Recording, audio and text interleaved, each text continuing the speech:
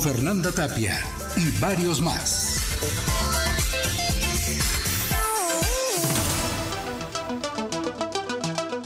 ¿Cómo está? Muy buenas tardes. Qué gusto saludarle. Bienvenido, bienvenida. Las 2 de la tarde, 14 horas en la capital del país. A nombre de la titular de este espacio, Fernanda Tapia, le saluda Omar Patiño y estamos juntos hasta las 2 con 57 minutos, cuando de esta hora usted, sí, usted estará bien informado. Por lo pronto, le invito a que se comunique con nosotros a través de el 5568 66 3978 5568 66 3978. Ya estamos juntos hasta las 2 con 57 de la tarde en Para la Raza con Fernanda Tapia y varios más. Claro que sí. Oiga, hoy con muchísima información de entrada quiero platicarle de algunos temas interesantes e importantes que son para nosotros los ciudadanos, los de a pie.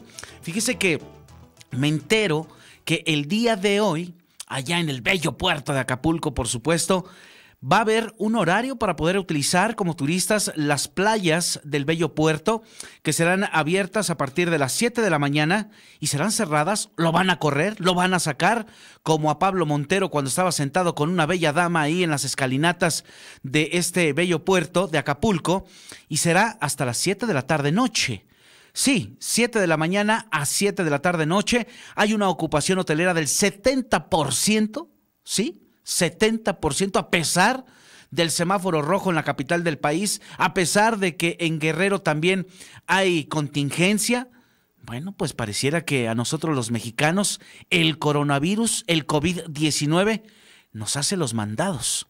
De eh, camino hacia esta cabina aquí en 620, déjeme decirle que pasaba yo por el centro histórico y de verdad que es triste que hoy veamos todavía a algunos de, los, de las personas de a pie, insisto, gente que tiene que hacer algunas compras sin cubrebocas. No se puede realmente continuar así. Recuerda que estamos en un semáforo rojo con alerta todavía. Eh, la ocupación de camas de eh, hospital son del casi 70% también. Ayer veía yo un mensaje por parte de la jefa de gobierno, la doctora Claudia Sheinbaum, a quien le mandamos un respetuoso saludo yo la veía preocupada, ¿eh? preocupada, triste, afligida, en donde dice que esto no puede seguir así. Desde marzo teníamos un, eh, eh, pues un porcentaje importante, conforme fue pasando los meses comenzó a subir, se mantuvo y para estos últimos meses, tanto octubre, noviembre, diciembre, hubo un repunte importante que hay que mencionar. De verdad hay que hacer conciencia y esto tenerlo en la mente. Si usted me cuida, créame que va a recibir lo mismo. Lo voy a cuidar y nos vamos a cuidar todos. Hay que evitar que siga incrementando la cifra de muertes en nuestro país. Hoy me levanté con eh, tres llamadas de compañeros, de amigos, mencionándome de tres personas fallecidas, cercanas, compañeros de trabajo. Hay que tomarlo muy en cuenta, de verdad, y hay que hacer, hay que hacer mucha, mucha conciencia. Estaremos platicando a lo largo de esta tarde de esta situación del COVID-19, esta pesadilla terrible. Y mientras tanto, a las 2 con 3, 14 horas con 3 minutos, nos vamos rápido con Margarita Nicolás. Ya está en la línea, pide la fracción del PRI en la Cámara de Diputados poner fin a las altas tarifas de la energía eléctrica para terminar con los abusos contra los usuarios. Oiga, y ayer tuvimos un apagón sabroso. ¿Y sabe qué? Bartlett al frente. Y esto me recuerda, no, no es por meter cizaña, pero me recuerda aquel apagón de 1988. Margarita Nicolás, ¿cómo estás? Buenas tardes, adelante con la información. Omar, muy buena tarde a ti y a todo nuestro auditorio. La fracción del PRI en la Cámara de Diputados se lo está pidiendo a la Comisión Federal de Electricidad, pues que ponga a trabajar a sus muchachitos, a todos quienes tienen que ver con el suministro eléctrico en nuestro país a raíz de este apagón, pues que afectó a 16 estados de la República. Ella está, eh, la diputada Soraya Pérez está pidiendo que el gobierno federal fije una tarifa especial para poner fin a los altos costos de la energía en, en, en el país y también en su entidad natal que es Tabasco. Ahí dice que las altas temperaturas pues hacen que los recibos se eleven, sobre todo si es frío, porque hay que usar también el calentador. Y si hace calor, pues el ventilador también, nomás para evitar estos trastornos en el cuerpo, pues ya sabes que son temperaturas de 40, 45 grados. Entonces ella dice que en coordinación con la Secretaría de Hacienda y la Comisión Reguladora de Energía se puede establecer una tarifa homologada que aplique como mínimo el mismo subsidio a los usuarios domésticos de la entidad, tanto en verano como en invierno, en aras de resolver el problema de la alta facturación. Y fíjate que ella comenta Soraya Pérez que de acuerdo a la Plataforma Nacional de Transparencia de abril a la fecha, más de 2.5 millones de mexicanos se han quedado sin el suministro eléctrico, eh, sobre todo dice Tabasco y Chiapas, donde los recortes han aumentado más del 90% y 175% respectivamente. Y lamenta que el programa Adiós a tu deuda no haya dado los resultados esperados por lo que no ha cambiado la situación de la cartera vencida en Tabasco, además de que en pleno confinamiento pues no se está apoyando a las familias para superar la emergencia sanitaria y continúen los recortes. Y también te comento, Omar, que se tiene programado que un poquito después de las 2 de la tarde el director general de la Comisión Federal de Electricidad dé a conocer realmente cuáles fueron los detalles, cuál fue el elemento principal para que se diera este apagón que ya sabe, como hemos dicho, afectó a 10.3 millones de usuarios, sobre todo en la zona norte, noreste y en el centro del país. Y pues esta, estas fallas que se dieron en el sistema interconectado nacional, pues dice que este modelo de simulación indicará con precisión cuál es la falla, se está analizando y supuesta, presuntamente ya se tiene y hoy que se va a dar a conocer. Y bueno, pues nosotros estaremos reportando qué es lo que dice la CFE sobre este apagón que afortunadamente nada más duró cuatro, este, dos horas, pero pues ahí hubo, pues dicen, afectaciones sobre ellos, decían ayer precisamente que en el suministro de agua potable no había habido este, afectaciones, sin embargo, la Comisión Nacional del Agua pues sí reportó algunas afectaciones en la Ciudad de México y en el Estado. Entonces, pues a ver qué cuenta ahora Manuel Bartlett, ahora, ahora sí como tú decías al principio, ojalá que no salga con que no hubo este ningún error en este en este sistema eléctrico, pues ya ves que en el 88 sí se le cayó el sistema cuando era secretario de gobernación, pero el electoral y ahora fue el de suministro de electricidad. Omar. Casualmente, ¿no? Dicen por ahí, casualmente que se le cayó el sistema, se le cayó prácticamente a Manuel Bartlett. Años después, híjole, se vuelve a presentar este apagón. Por si algo faltara en la capital del país, por si algo nos faltara después de tener en el mundo, ¿no? Después de tener una bomba en Beirut, después de que se cayó un helicóptero con un basquetbolista, Kobe Bryant, después de, o sea, el COVID-19 y ahora, para casi cerrar con broche de oro, el tema de un apagón en gran parte del territorio mexicano que afectó Monterrey, ¿no? Monte, fueron Tamaulipas, entre Monterrey y Tamaulipas, que son Las Lajas y Güemes, que es en estos dos estados donde está este sistema de el sistema interconectado nacional, que es el que surte pues de electricidad al país. Este fue te digo, en Nuevo León, en Tamaulipas, en Sinaloa, Nayarit, Durango, Zacatecas, Hidalgo, Quintana Roo, la Ciudad de México, Veracruz, el Estado de México, Querétaro, eh, Jalisco, Yucatán y Aguascalientes, entre otros, porque fueron 16 estados y dice que gracias a este sistema de protección, pues no se afectó a todo el país y quién sabe cuánto tiempo hubiera durado, pero te digo que los pormenores los conoceremos en unos 20 o media hora cuando mucho, pero estaremos informando, Omar, qué es lo que pasó. Pues estaremos muy pendientes. Margarita, yo te agradezco el reporte. Muchísimas gracias. Que tengas un estupendo martes. Igualmente para todos. Estamos pendientes. Ahí tiene usted. Por si fuera poco, oiga, eh, el tema de, este apagón. Pero qué tal las casas, ¿no? ¿Qué tal las casas de, del señor Bartlett que salieron a relucir y que, ¿sabe qué? No pasó, no pasó absolutamente nada. Una verdadera chulada. Pero bueno, ahí tiene usted esta información. ¿Cómo le afectó el apagón del día de ayer? Oiga, ¿sabe quién me preocupa muchísimo? Los hospitales, que seguramente tienen una planta de energía, pero los que no la tienen y que tienen un concentrador de oxígeno en casa, 20 minutos por fácil, se quedaron, se quedaron sin oxígeno. Espero que esto no nos lleve a eh, una situación extrema. ¿eh? Ojo ahí, ojo ahí, porque no podemos estar jugando con la vida de los ciudadanos, de los capitalinos, de los habitantes de este bello México que pasa por una terrible una terrible pesadilla. Vamos a estar hablando de este tema. Recuerde 5568663978, 5568663978. Estoy esperando sus comunicados. Ya son las 14 horas con 10 minutos, 2 con 10. Vamos a cambiar de tema.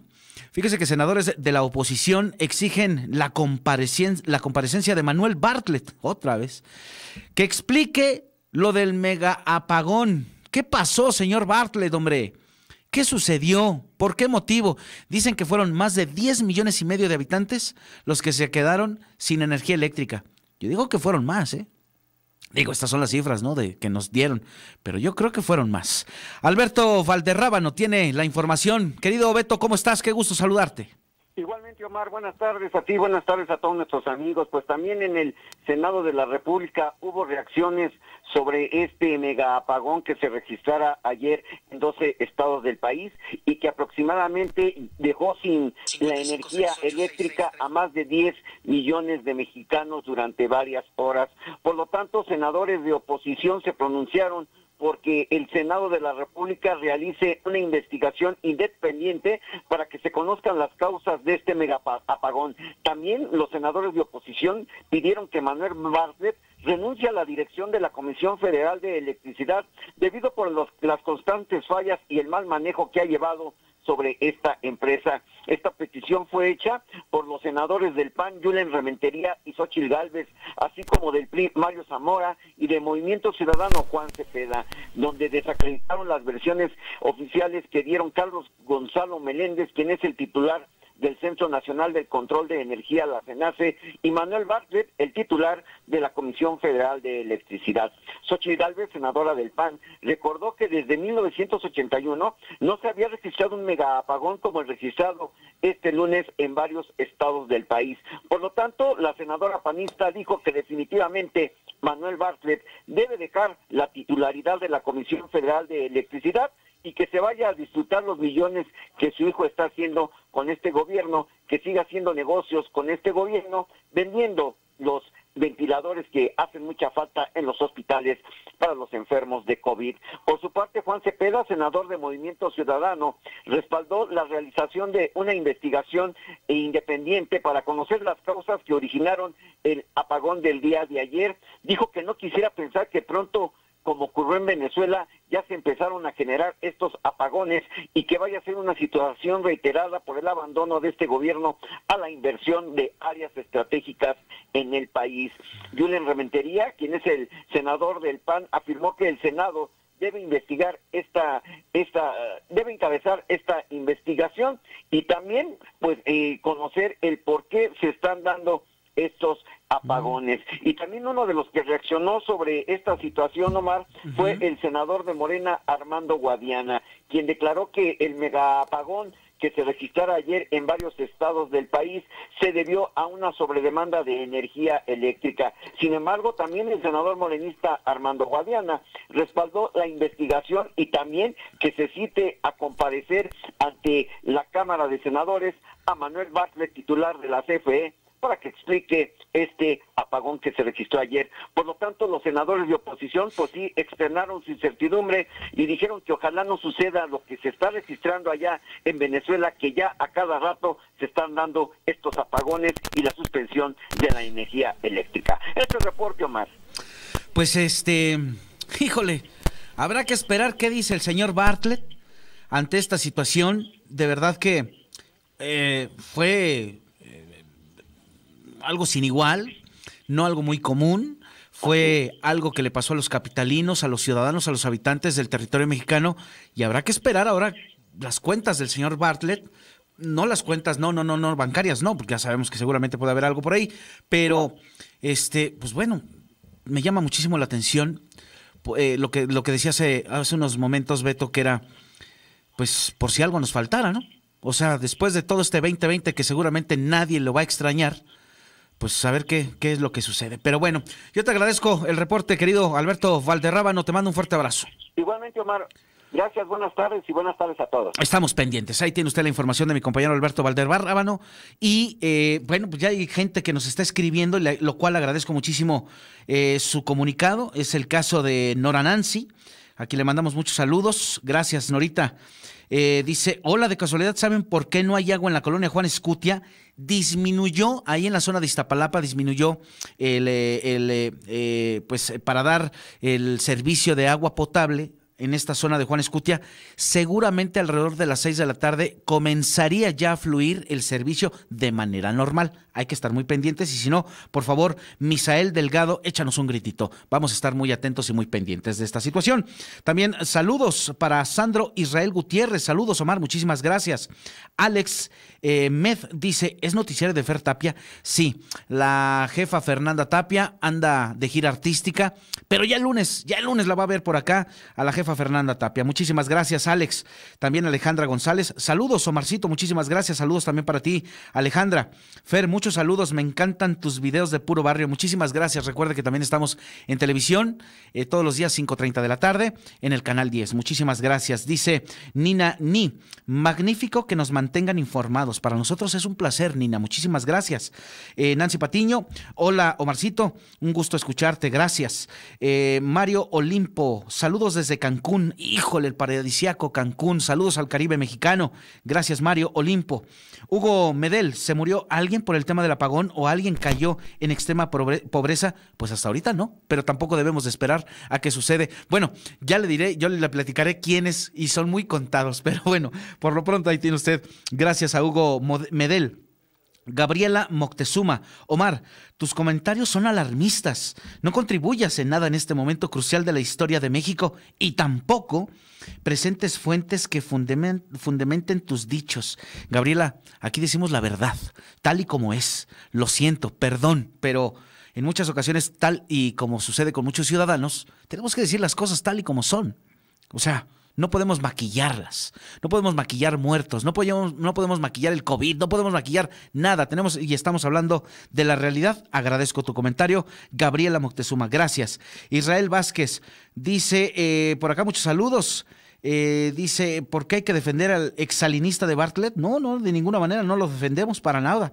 Eunice Espinosa, ¿por qué tanto, eh, ¿por qué tanto saludo? Bueno, pues es que tenemos que mandar saludos. Saludos, contrataron para que no nos suicidemos. No, saludos para nada. Eduardo Hernández también ya nos está viendo. Muchísimos saludos con eh, toda la gente que se está ya en estos momentos reportando a través de en tu face, que sí, efectivamente es el, el face de Fernanda Tapia Oficial en Facebook. Muchísimas gracias a toda la gente que nos sigue. Oiga, vamos a cambiar de tema. Dice por acá, en el municipio de Madero, allá en Michoacán, la Guardia Nacional localiza y destruye 17.500 plantas de marihuana de pastito vacilador. Ángel Coronel, tú tienes el reporte, gusto en saludarte. Igualmente, este Omar, saludos, saludos a Malo Auditorio. Y bueno, pues te comento que alrededor de 17.500 plantas de marihuana fueron destruidas por elementos de la Guardia Nacional, esto en el municipio de Madero, Michoacán, luego de localizar y destruir un plantío eh, clandestinamente con una superficie aproximada de 3.500 metros cuadrados. Ahí los elementos de la Guardia Nacional realizaron pues una incursión en un terreno irregular ubicado en el poblado Los Ojos de Agua, en el cual tenían este, densidad entre 5 matas por metro cuadrado y una altura de 40 centímetros. La destrucción se realizó mediante el método de incineración y se tomaron las muestras eh, representativas para la puesta a disposición de la Fiscalía General de la República con sede en Morelia, quien dará seguimiento a las investigaciones. Así es que está con la información, eh, eh, Omar. Bueno, pues otro golpecito ahí con el tema de los estupefacientes, algo que es complicado de detener por estos momentos y que no es un tema nuevo. Sabemos que ya es un tema importante de historia en nuestro país. Y bueno, pues ahí tiene usted este tema de la Guardia Nacional que localiza estas 17.500 plantas de marihuana. Mi querido Ángel, te mando un fuerte abrazo. Igualmente, Marta, también un saludo y ya estamos en comunicación. Estamos pendientes. Gracias. Ahí tiene usted la información con mi compañero Ángel Coronel. Oiga, por acá me escribe Ale Maldonado. Se ríe. Ja, ja, ja. Pastito vacilador. Genial. Bueno, pues es que, querido Ángel, así se le conoce, ¿no? Como el pastito vacilador, nos fumamos la alita de mosca, este, vamos a quemarle las patas al diablo. Pues eh, es parte del argot mexicano, ¿no? Eh, de nosotros los capitalinos de, aquí de la capirucha, dirían por ahí. Dice Eunice Espinosa, saludos, dice, ¿seguro eres reportero o qué sois? Sí, intentamos, jugamos, eh, tratamos de hacer y de informar a la gente. Eunice, gracias. Dice, no, no maten a la naturaleza, dice Carlos Rodríguez. El verde es vida. Claro que sí, yo estoy de acuerdo contigo. 2 con 20, 2 con 20 de la tarde, no le cambie. Está usted en Para la Raza con Fernanda Tapia y varios más. Es una pausa muy breve. Ya regresamos. Estás en Para la Raza con Fernanda Tapia.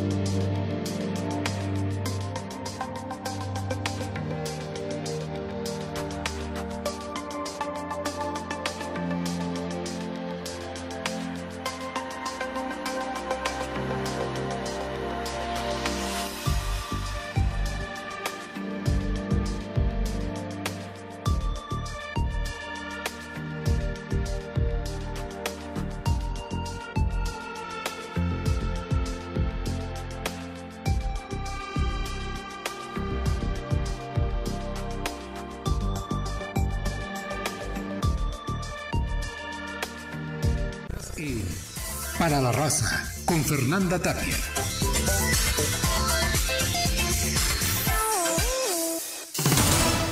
Dos con 24, 14 horas con 24 minutos. Estamos juntos en Para la Raza con Fernanda Tapia y sí, varios más.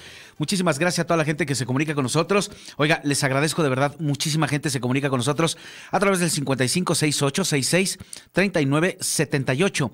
556866 3978 es la línea de comunicación directa con nosotros en Para la Raza con Fernanda Tapia y varios más. Comentarios, sugerencias, perdón usted, denuncias, lo que nos quiera enviar, un saludo, quiere mandarle o declararle el amor a alguien, hágalo a través de esta, de esta su señal. Oiga, y también recuerde que estamos a través de Face en Fernanda Tapia Oficial. Ahí estamos transmitiendo completamente en vivo. Y nos saluda Claudia Tapia Alcázar. ¿Sabe desde dónde nos escucha? En Missouri. Oiga, muchos saludos a Missouri, saludos a toda la gente. Muchísimas gracias. Terapias Alfón. Saludos, Omar Patiño. Gracias, gracias de verdad a todos y cada uno de ustedes que hacen posible, pues, este, este es un noticiario. Oiga, vámonos rápidamente a la línea telefónica. Continuamos con este tema en donde ya me están comentando, me están diciendo que por qué estamos atacando a Bartlett, por qué le estamos diciendo. Pues es que el tema de ayer, el apagón que se vivió por la tarde, que seguramente usted resultó afectado y que regresó después de 20 minutos en gran parte del país, puso, sin duda alguna, sobre la mesa la viabilidad de la política de la administración centralizada de la Comisión Federal de Electricidad que encabeza el señor Bartlett. Pero ¿por qué se fue? ¿Por qué? ¿Quién bajó el switch? No sabemos. Es el caso de Eunice Espinosa quien nos dice del tema. Eh, también eh, Gabriela eh, Moctezuma, quien nos dice que por qué atacamos al señor Bartlett. Bueno, pues entonces a quién le reclamamos, si él es el que está, él es el secretario, él es el que está al frente de eh, Rocío la secretaria, y él es el director. Y bueno, ¿a quién le decimos? ¿Con quién nos quejamos? Salvador Vega, quien es el coordinador de nuestra unidad de investigación de la ONEA en México. Me da gusto saludarte, querido Salvador. Buena tarde. ¿Qué tal, Omar? Muy buenas tardes. Gracias por el espacio y un saludo a toda la audiencia. No, hombre, un placer tenerte en este espacio, Salvador. Y bueno, platícanos con este tema del apagón. ¿Qué sucedió? ¿Qué pasó? Pues sí, como nosotros pudimos adelantar el día de ayer, la Organización Nacional Anticorrupción, estamos trabajando algunas líneas de investigación. Uno de los sectores que merece nuestra atención también es el de la Comisión Federal de Electricidad.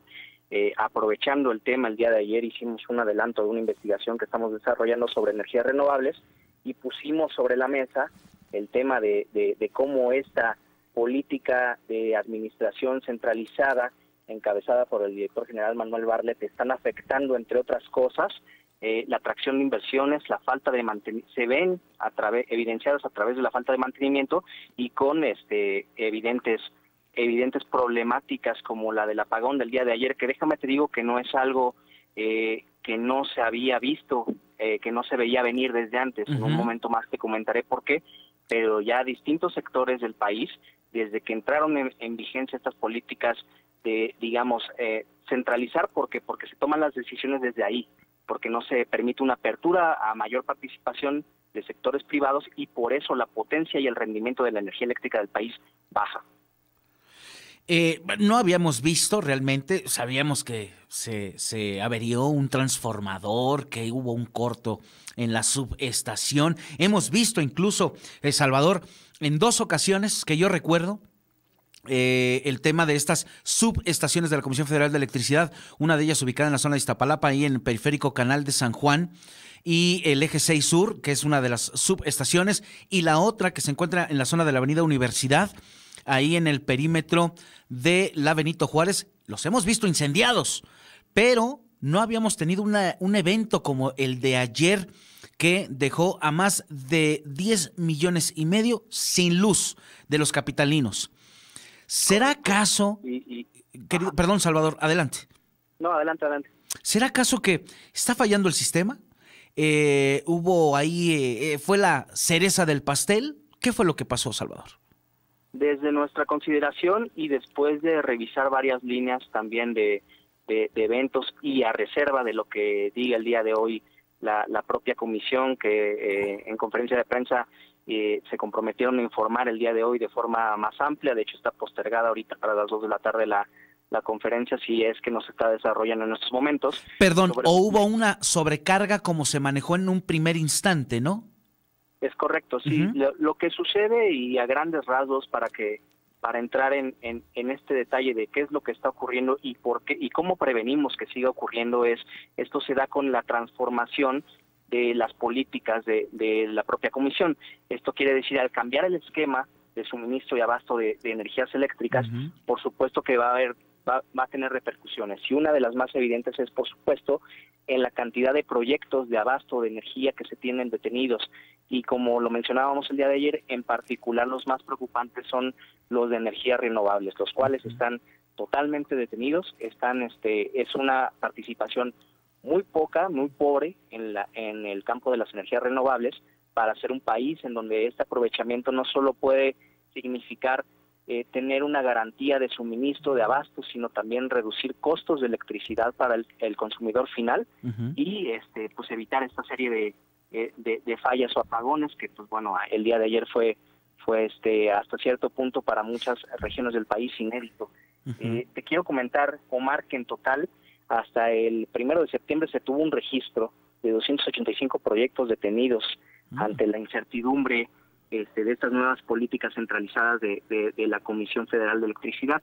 Esto denunciado por la Confederación de Cámaras Industriales, la CONCAMIN, y, aquí me llama mucho la atención que en una de las declaraciones del comisionado de la, de la sección de energía de la CONCAMIN, eh, Regulo Salinas, se mencionaba precisamente que la de, eh, tener esta cantidad de inversiones, además de significar la la detención de proyectos equivalentes a 100 mil millones de dólares en el país, pues iban a traer una serie de problemas, entre ellos eh, eh, que la, el incremento del costo de la energía eléctrica en el país, el bajo crecimiento de la energía general, de, el, bajo, el bajo crecimiento de la inversión eh, de la economía de nuestro país en, en cuanto a energía, pero algo muy importante, los apagones.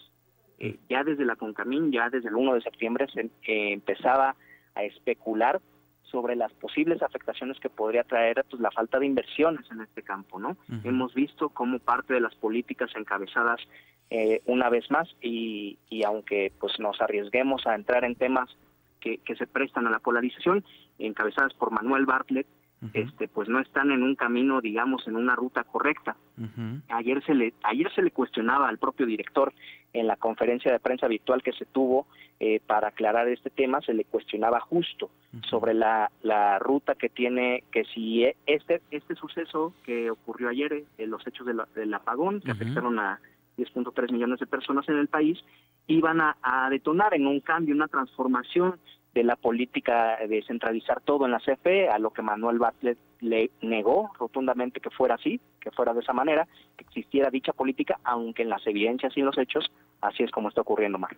Qué cosa, por Dios. Mira, que, que, que hay algunos inconformes eh, por esta situación en donde, como lo mencionábamos hace unos momentos, Salvador, están a favor o no a favor, simple y sencillamente levantan la voz por decir, bueno, ¿y por qué se fue la luz? Si yo la pago, cumplo continuamente con eh, eh, mis pagos, ¿por qué motivos hay un apagón? Pudo haberse dado, eh, para la gente que nos escucha, pudo ser el caso de que hubo ahí un desperfecto, que sí hubo una sobrecarga, pero hay otra gente que piensa también el motivo de este apagón, por qué se dio este, cuando Manuel Bartlett quien eh, pues estuvo en 1988 y se le cayó el sistema este, cuando era secretario de gobernación.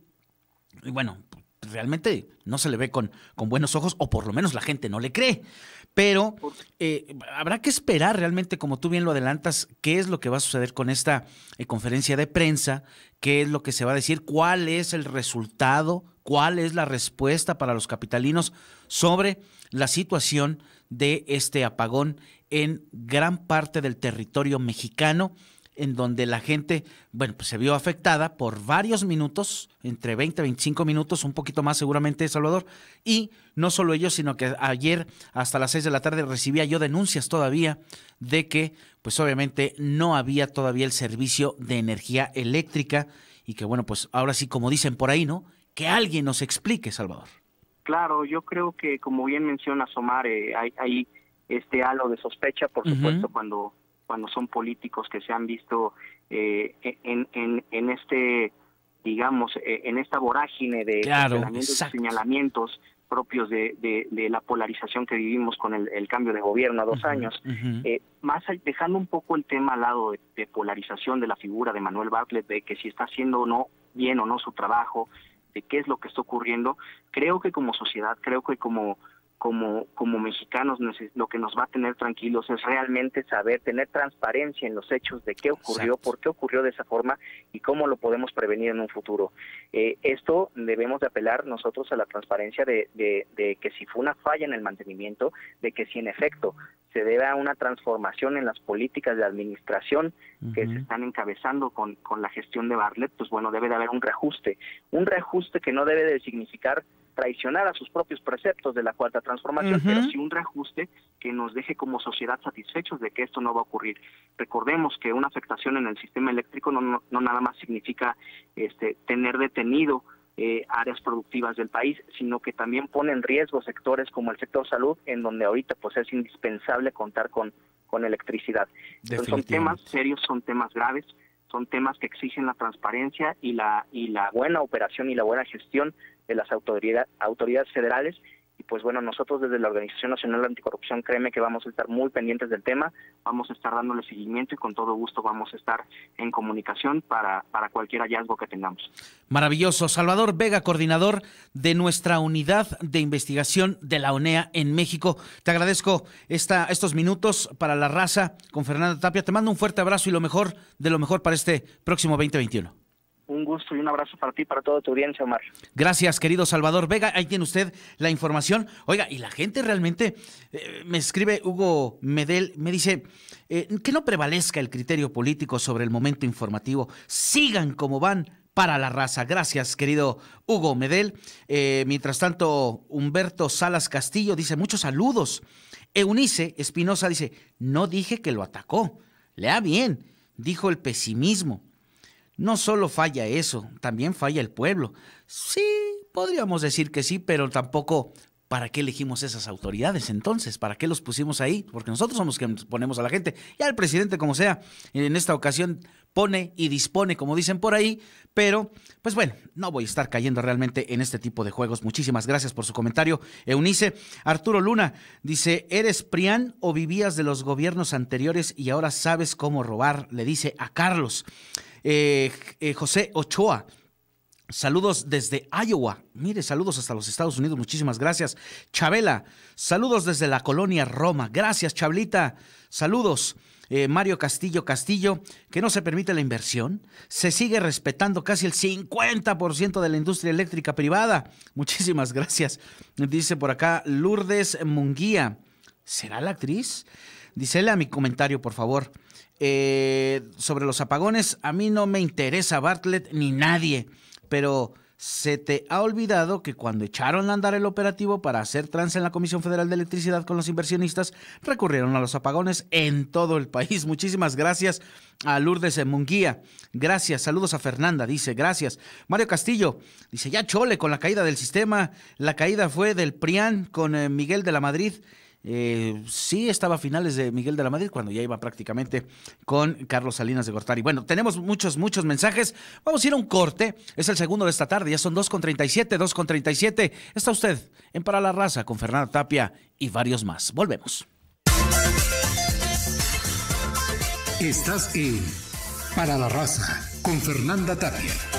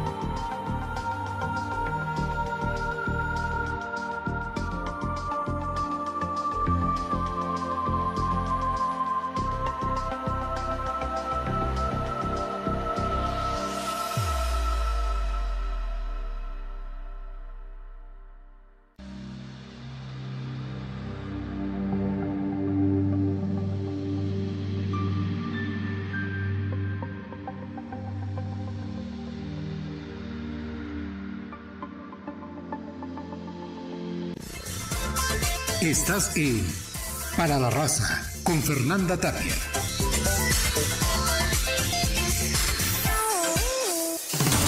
Son las 14 eh, horas con 40 minutos, 2 de la tarde con 40 minutos. Gracias por continuar con nosotros. Gracias a toda la gente que eh, me está escribiendo a través del Facebook Fernanda Tapia Oficial o Fernanda Tapia Original, mejor dicho, perdóneme usted, Fernanda Tapia Original. Dice eh, Maités Leticia, Omarcito, acuérdate que quienes fraguaron la caída del sistema fue el, eh, pues el chivo eh, del jefe Diego, entre otros el Orejas, y bueno, sí, tiene usted toda la razón. Muchísimas gracias. Eh, Matías, Leticia, gracias. También está Pedro Cruz.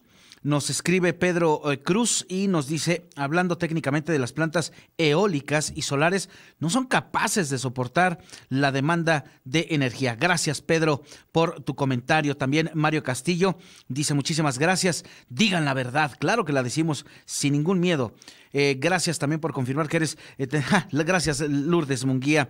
Dice, no, es que por cuestiones de tiempo, Lourdes, perdón, pero ya tenemos aquí tu mensaje y el cual agradezco infinitamente. Gracias por estar con nosotros, eh, Lourdes Munguía. Muchísimas gracias. Bueno, vámonos a la línea telefónica. Vamos a cambiar de tema y en esta ocasión me da muchísimo gusto saludar a Gibran Mena Aguilar, él es periodista y reportero y nos habla sobre estos 9 mil casos de indígenas con COVID-19 indígenas que eh, se registraron entre marzo y septiembre. Los datos, según oficiales, subestimaron a la población indígena con sospechas de haber tenido COVID-19. Platícanos, querido Gibran, ¿cómo estás? Muy buena tarde.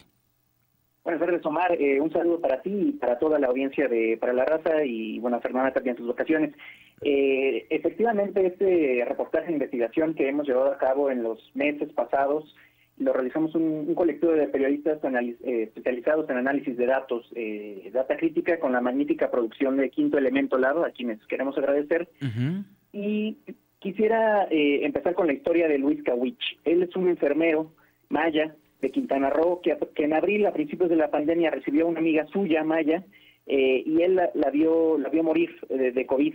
y ese caso pasó a formar parte de la base de datos oficial pero no se registró un, dato muy importante y es que la joven de 23 años era indígena.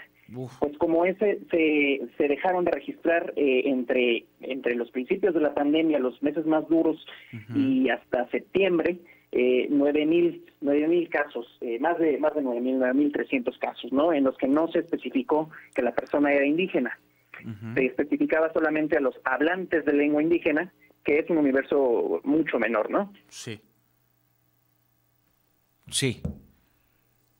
¿Gibran? Sí. Ah, ahí está, sí. Te escucho. Perfecto, sí. Oye, aquí, aquí, qué bueno que hacemos este paréntesis breve.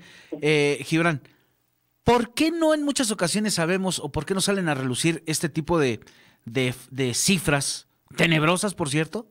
Más de 9 mil casos de indígenas con COVID-19. ¿Por qué no lo sabemos nosotros? Eh, muy buena pregunta, eh, Omar. Mira, fíjate que eso le preguntamos precisamente a la Secretaría de Salud eh, y nos, nos contestó la Secretaría de Salud que, que subregistraron estos datos supuestamente para proteger la privacidad de estas personas. pero en todo este tiempo, entre marzo y septiembre, mientras se ocultaba la etnicidad de estas personas, se publicaba el municipio de origen, la entidad, la edad de la persona, el sexo, si padece EPOC, si fuma, si no fuma, si tiene inmunosupresión. ¿Pero están dentro de las cifras, Gibran? Sí, dentro de las cifras se publica por cada paciente, estos datos vienen del sistema de vigilancia epidemiológica, se publica sobre cada paciente que se hace una prueba, digamos, eh, todos estos datos, no incluyendo sexo, edad, todos los que te mencioné, todas las enfermedades que tiene y si es hablante de lengua indígena. Y sobre esto no se aplicó el criterio que esgrime la Secretaría de Salud, que es supuestamente que protegía el dato, ¿no? Entonces, ellos dicen que es para proteger la privacidad de las personas, pero no es consistente su dicho con, con la práctica de todos esos meses, y al mismo tiempo les permitió en las conferencias vespertinas eh, diarias del eh, señor Gatel otros datos que mostraban una dimensión muy diferente de la pandemia, que mostraban una dimensión mínima de la epidemia entre indígenas, ¿no? Que les permitió decir que ah, incluso Gisela Lara, directora de, un programa del Instituto Mexicano de Seguro Social, dijo que a los indígenas les iba mejor. Esto lo dijo en la conferencia diaria, ¿no? Les iba mejor que los no indígenas. Y mientras tanto, la Secretaría de Salud eh, sabe sabe que los indígenas están en un mayor riesgo de morir una vez contraído el indígena. Hicimos el análisis de datos y tiene en el promedio nacional 50% más probabilidad de morir una persona indígena una vez que contrajo la enfermedad frente a personas no indígenas, ¿no? Sería bueno que, pudiésemos conocer también este lado humano en las conferencias de, del señor Gatel, que son diario, por cierto, y que estuviéramos conscientes también de esta situación, porque ahí nos deja eh, la, la, duda si es que sí están dentro de estas cifras escalofriantes que vivimos a diario los mexicanos y que vemos y que nos enteramos por la radio, por la televisión, y que sería importante poder saber, pues realmente el por qué no los, no los meten a este como padrón o por qué no los mencionamos los hermanos indígenas con COVID-19 son cerca de tanto, el porcentaje 50% eh, mayor, eh, qué sé yo. Pero sí sería bueno que pudiésemos conocer también estas, estas cifras que también son escalofriantes y que en muchas ocasiones, pues sí, no las pueden, no las pueden ocultar. Querido Gibran, ¿dónde te podemos encontrar algunas redes sociales? Eh, sí, bueno, lo difundió una amplia red. el, el, reportaje se originó en arroba data crítica. Estamos en, en Twitter, ahí se explica claramente todo esto que dices y la postura también de las autoridades del gobierno federal. Eh, y, a mí me encuentran como arroba Marcos G-M también en, en Twitter. Eh, estimado Omar, eh, de nuevo un saludo y gracias por el interés en un tema que nos, nos es relevante a todos ahí. 21.5 millones de personas indígenas en el país, una riqueza cultural inmensa y, seguramente a toda tu audiencia le interesa mucho este tema. Por supuesto que sí, tenlo por seguro, querido Gibran. Es muy interesante y no solo ellos, sino que también hay que estar enterados de lo que pasa no solamente en la capirucha, sino más allá de las fronteras. Te mando un fuerte abrazo, querido Gibran Mena Aguilar, el periodista y reportero de Data Crítica. Gracias por estos minutos. Gracias a ti, Omar. Que tenga una buena tarde. Gracias. Ahí tiene usted este reportaje especial que si usted quiere, bueno, pues ahí siga a nuestro querido Gibran para que, pues obviamente, conozca más de este, de este tema. Por lo pronto, siguen llegando comentarios, sugerencias. Dice, ¿dónde está Fernanda Tapia? Se tomó unos días, doña Fernanda Tapia, pero ya estará de vuelta el próximo lunes aquí con nosotros en... Eh, en este programa que usted ya lo conoce, Para la Raza, con Fernanda Tapia y varios más. Comuníquese con nosotros 5568 66 39 78 5568 6639 78. Es momento de una pausa. ¿Cómo nos acercamos a la recta final? Ya volvemos. Estás en Para la Raza con Fernanda Tapia.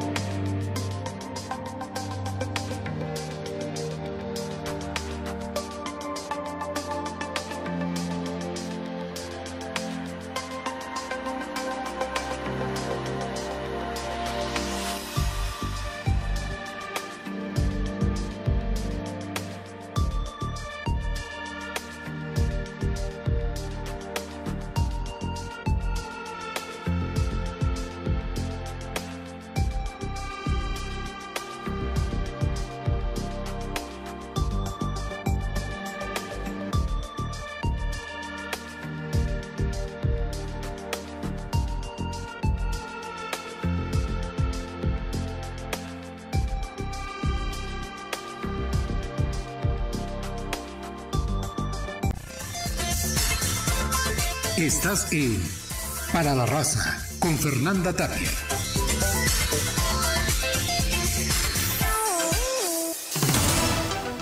Dos con 51, 2 con 51 de la tarde. Muchísimas gracias por continuar con nosotros. Gracias, ya estamos casi entrando a la recta final de este espacio.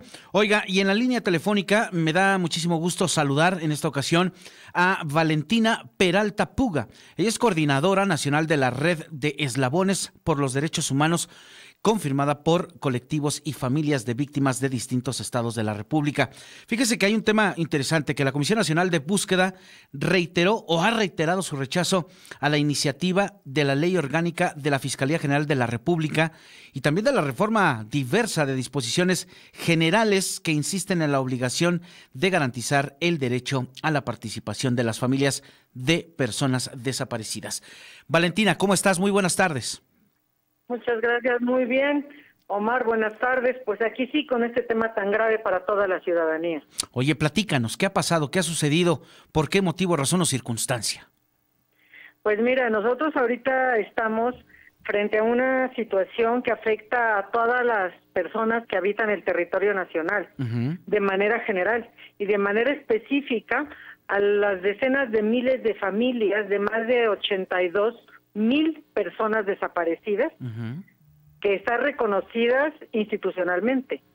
Todavía nos falta agregar la cifra gris, que siempre son dos o tres veces más.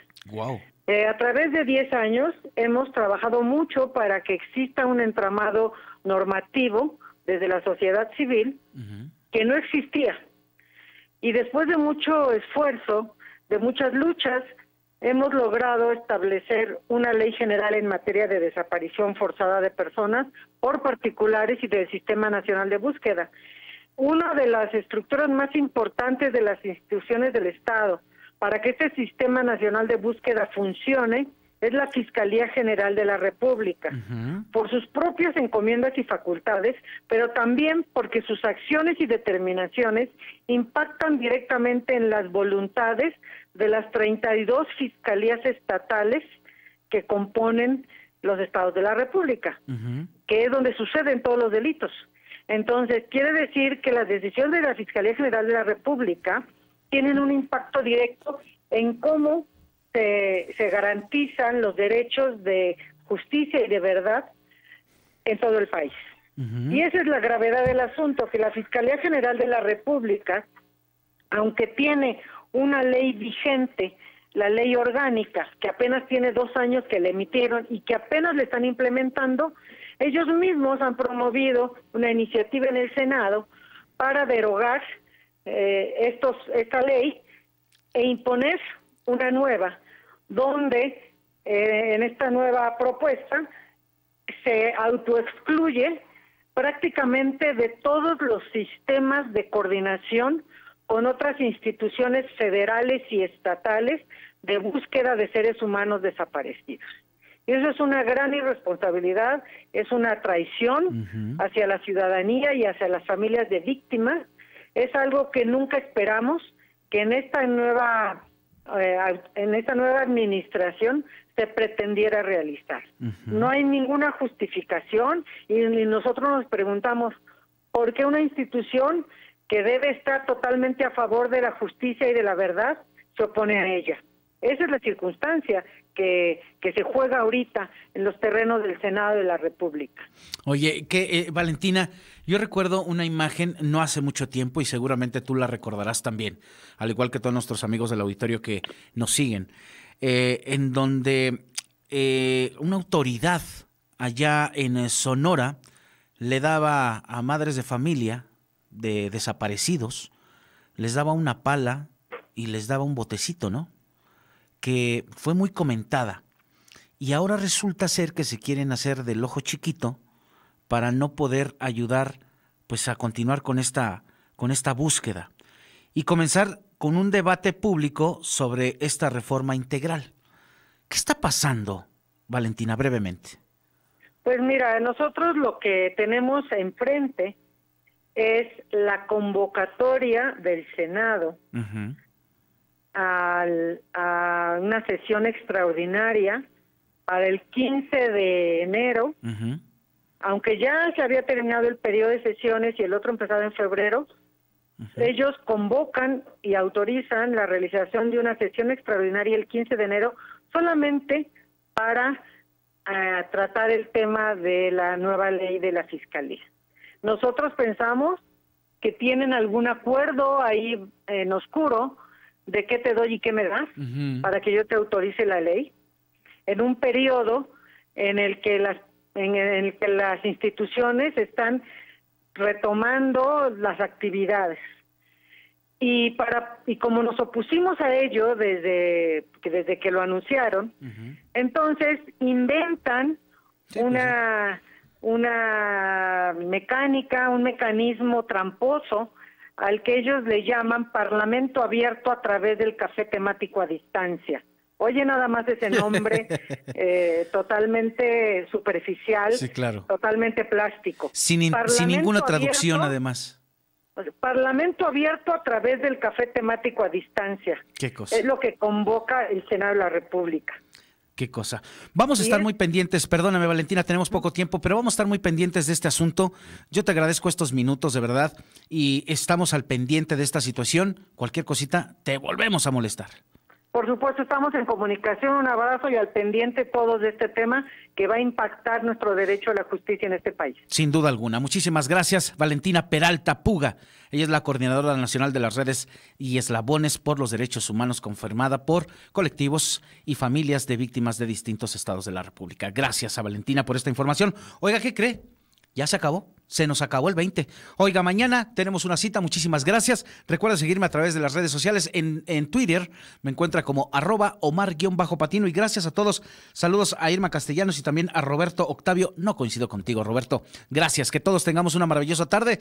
2 con 58 de la tarde. Ahora sí puedo estar seguro. Ya le dejamos bien informado. Muy buenas tardes. Esto fue Para con Fernanda Tapia. Te esperamos el día de mañana por esta estación.